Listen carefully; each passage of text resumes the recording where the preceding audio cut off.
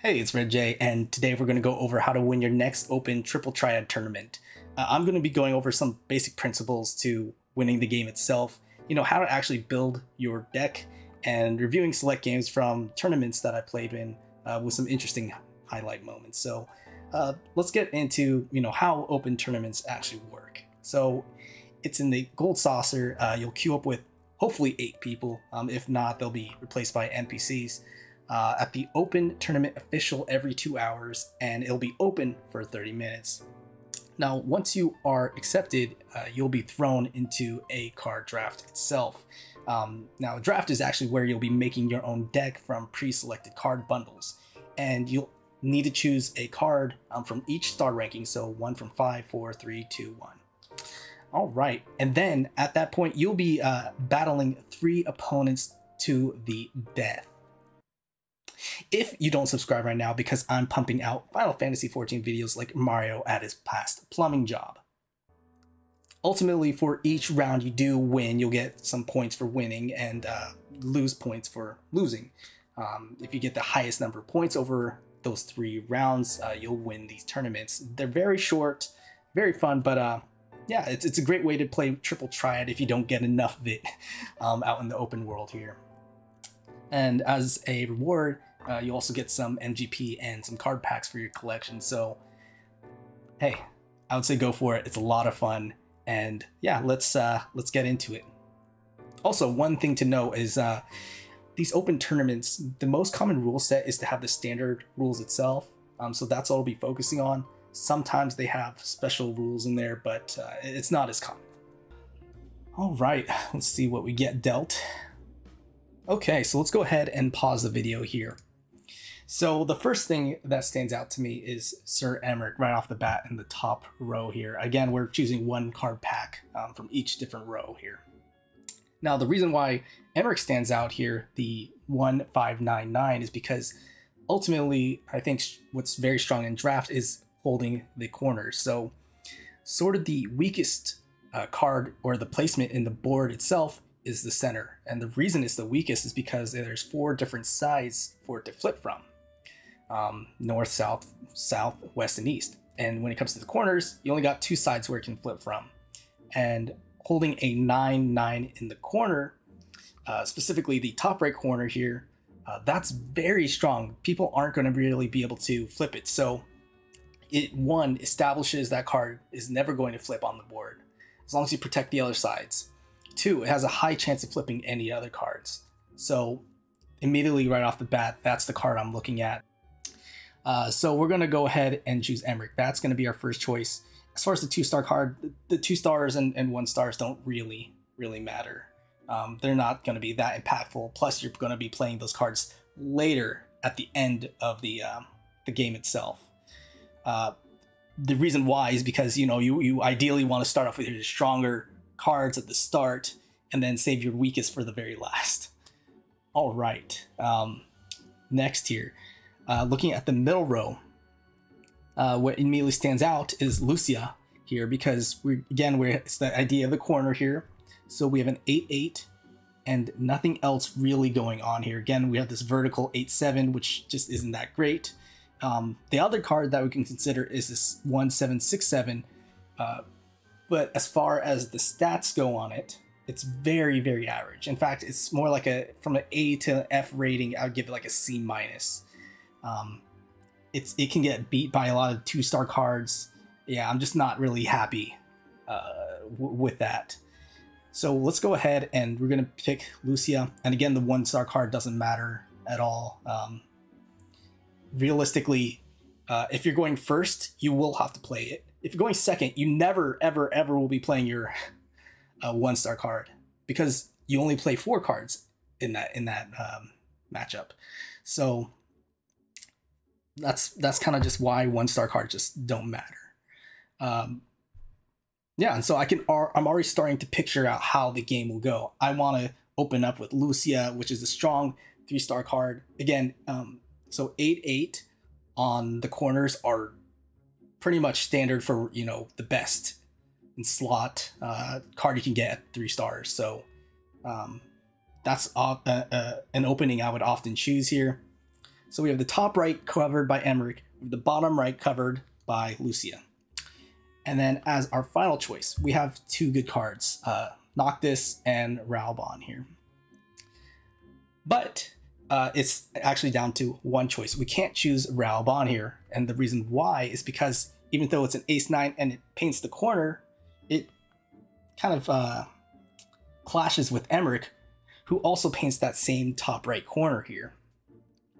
So ultimately, uh, we're going to choose Noctis here um, because it could attack from the top left.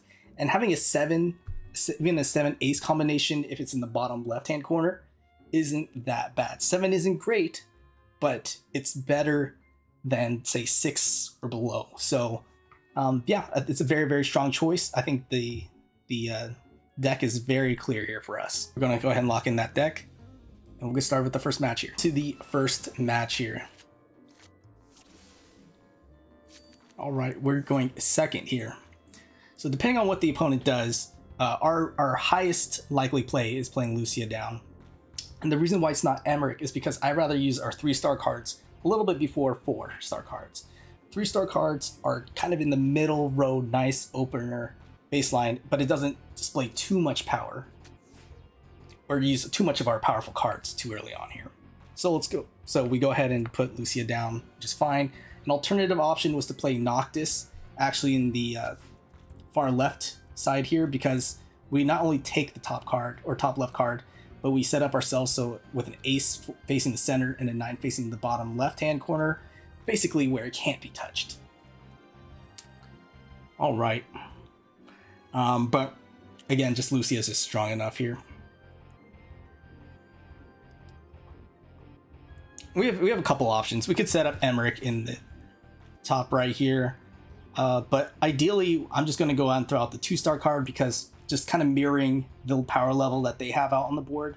They've only put out their two-star card, so I'm going to go ahead and mirror put out our two-star card. And part of the reason why I wanted to place it here is because now this top left card is pretty much locked in in our favor. They can never capture it back. All right, and so we go ahead and go for the double capture. Even if I'm not, I'm not worried because most likely they're going to get a double capture from these two cards.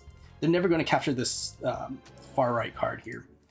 Um, I kind of want to go back and display that board state.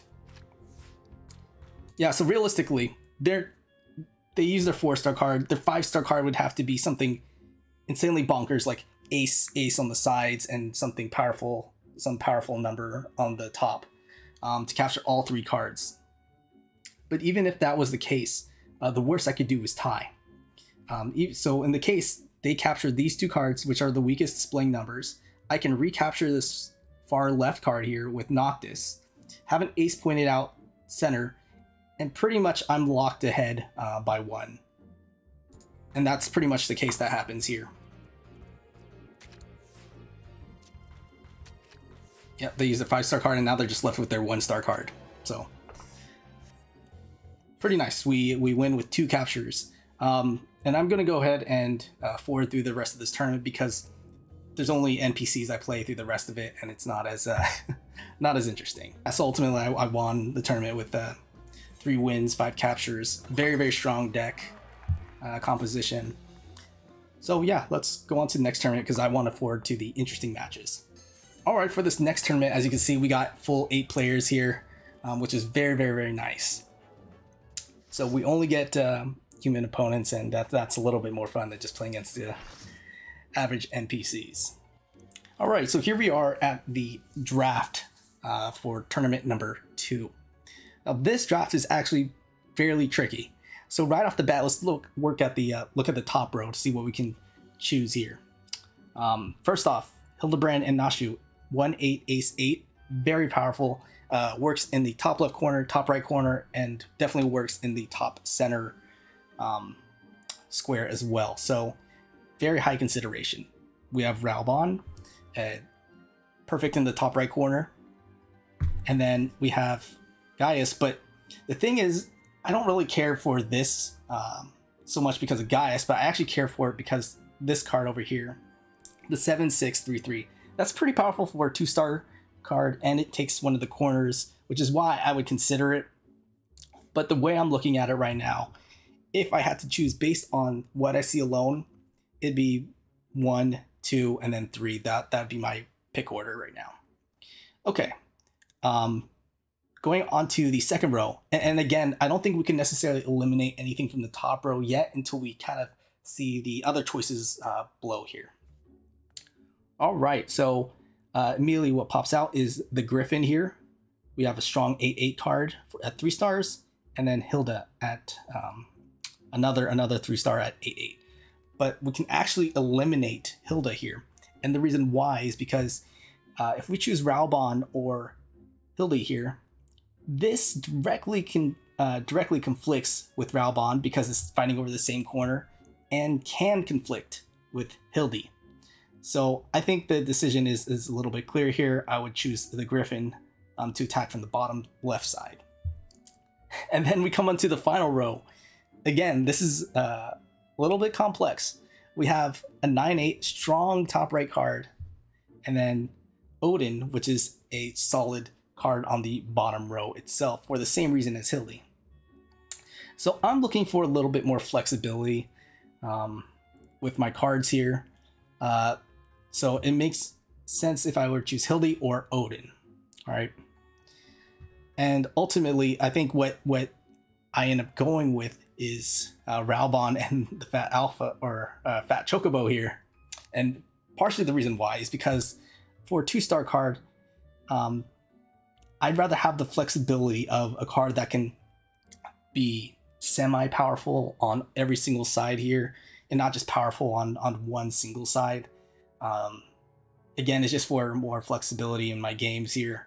Uh, but it's very, very, very close between choosing Hildy, Griffin, and then this middle bottom card versus Odin, the Griffin, and then Raubahn or Hildibrand. Um, I would say either deck would work fine. Uh, that's just my preference and the reasoning behind why I chose these cards. And this is the deck I ultimately lock in. And one thing that's important to note is if you do go first, um, oftentimes there's an opener where you'll start off with the one star card, your weakest card, in the center. And you may say, well, well, why? That's because pretty much you're going to have to play the one star card. Playing it in the center uh, doesn't matter so much because if you're the first player, you always get the last move. And more often than not, the corners are taken and you have a high chance to flip the card in the center if it's not already yours. Okay? And with myself choosing a one star card that has that is vulnerable on both the uh, east and west side, I have the flexibility now for my two star card, which is likely to come down uh, last or, or second to last, and have that uh, take over the middle card here. So that's just some consideration to think about. Okay, so I'm going on to the second game of this tournament. The first round I uh, drew, and in a lot of those games, uh, you'll actually draw here. Uh, I think this game displays uh, some kind of cool, cooler moments here. So we do go first, so I'm going to go ahead and start off with that weak card in the center uh, for mentions reason prior. Uh, my alternative play was to play the Griffin in the bottom left-hand corner. All right, so this is a very strange play to me. Um, pretty much they, they used a four star card against a one star card and left a vulnerable vulnerable area um, in the bottom left hand corner, which allows me to just immediately scoop it up. And now this Urianger card is pretty much protected. It's not going to get captured or very, very unlikely to get captured because uh, they would require an ace in their five star card there.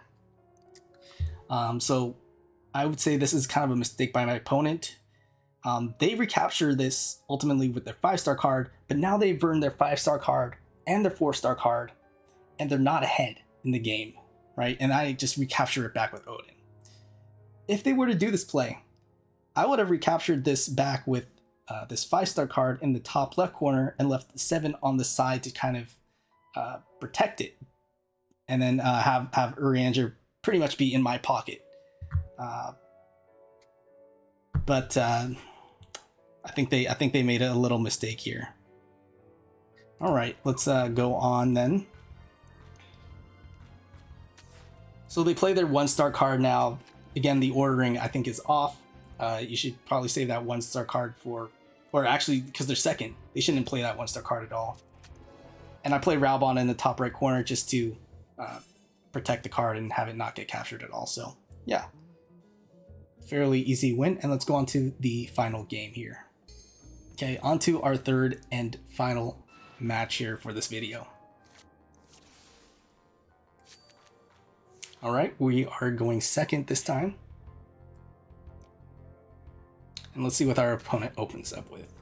All right, so this is a very, very strong opener from them. Two-star card that uh, paints the corner with two sevens, very strong numbers. So I don't really have a card that captures it well in the left-hand column. So I'm gonna go ahead and take it over with Odin and leave only an eight and a seven exposed. So I would say I'm fairly happy with, with uh, that capture. And this is okay from their side. They go ahead and play Cid and lock up that uh, top left corner. So pretty much I can't touch Cid in, in any way or, you know, most scenarios. So I'm going to go ahead and take the opportunity to actually seal off the seven because I'm afraid that this card can get captured. And I'd rather replace that seven now with an eight. Now only I have eights exposed. So we're pretty much in a very, very good spot. And they already used the four star card. All right.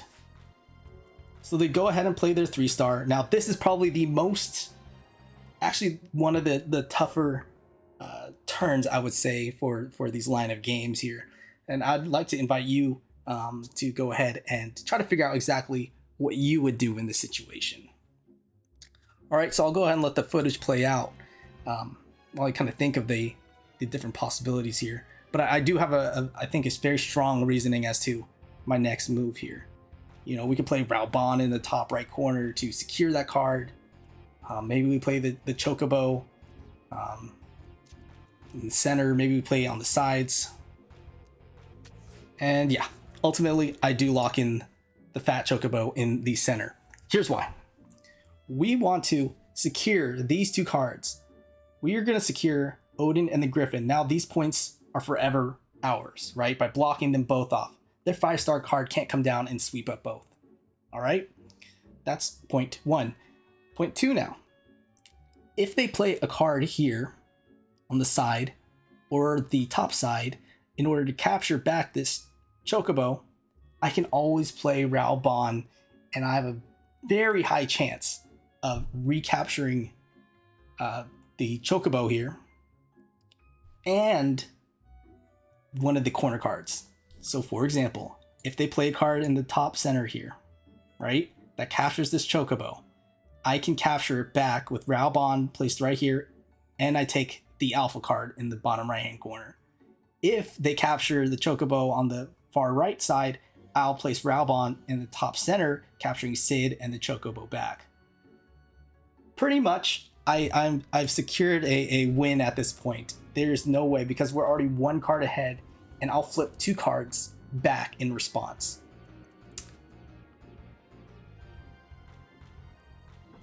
And so, you know, pretty much at this point doesn't matter what they do. I'm gonna go ahead and place my card there, take uh, take a two card lead.